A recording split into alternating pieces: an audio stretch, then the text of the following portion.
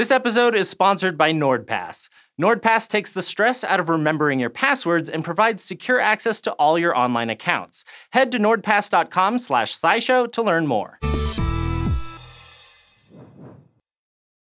Today, if you've got somewhere to go, you might hop in a car or even take a plane. But for centuries, a boat was your fastest way of getting around. Except when it suddenly wasn't. For thousands of years, sailors have been telling stories of a mysterious phenomenon called dead water that could stop a ship in its tracks. We now know that dead water is just, well, water. And after all these years, scientists finally understand why it used to mess with sailors, and how it might still affect swimmers today. Fridtjof Nansen, a Norwegian sailor and future Nobel laureate, coined the phrase dead water back in 1893, but he wasn't the first to get stuck in it. Stories of ships moving under full power, suddenly slowing, or even totally stopping date back to at least 600 BCE. Sailors over the years have tried all sorts of ways to escape, from pouring oil in front of the bow to shooting at the water and even banishing monks from their ships. But most of the time, if you're caught in dead water, you've just gotta wait it out. After this had happened many times, people started to notice that dead water was more common where it was cold. For instance, Nansen's ship, Fram, was sailing north of Siberia when it got stuck. This incident helped point to what was really going on. Sailors were getting stuck in places where a layer of cold, fresh water was floating on top of the salty sea, like maybe melt water from a nearby glacier. The two types of water act almost like totally separate fluids, and the boundary between them is a lot like the one between the water and the air. And that can make things complicated. In 1904, the oceanographer V. Walfrid Ekman showed mathematically that when a boat runs into this two-layer system,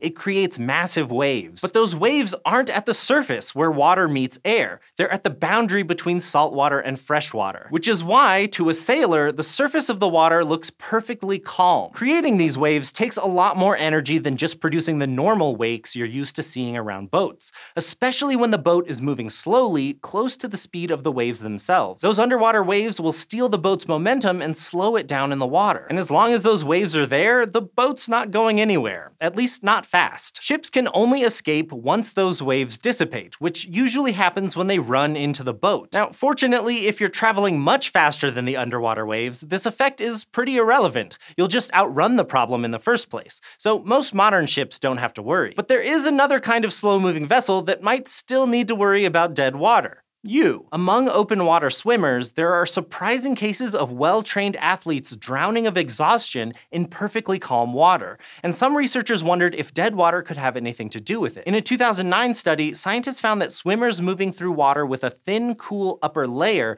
lost up to 40% of their motion. There's still work being done in this area, but it could help explain why even strong swimmers can sometimes get trapped in calm water. So it's something to keep in mind if you go for a swim and feel water layers of different temperatures. We asked an expert, and if you find yourself trapped in such a situation, your best bet is probably to stay calm and use a slow, shallow stroke. And, you know, maybe don't swim by any melting glaciers. Now, maybe you're not a swimmer, but you still keep getting stuck on simple things in life, like remembering your passwords or pulling up your credit card details when you need them. If that sounds like you, you might be interested in using NordPass to make your life easier. NordPass is a secure app and browser extension that remembers your complex passwords and credit card details and lets you access them from anywhere, so you can work and shop online with ease. Like maybe you're interested in buying SciShow's Pin of the Month from DFTBA.com. With NordPass, you won't need to enter your credit card information every month. NordPass will also generate secure, complex passwords for you so that you don't have to think about them. And it'll even autofill your online forms to save you the trouble of copy-pasting. NordPass has native iOS and Android apps, and you can add the NordPass extension to your browsers. And with the premium plan, you can securely share your